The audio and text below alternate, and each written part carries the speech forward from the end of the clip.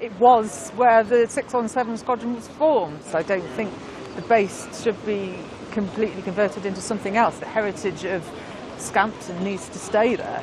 It's important that the squadron and its history is remembered. And yes, ideally it would be in where it started, but as long as the history is retained, that's the important bit.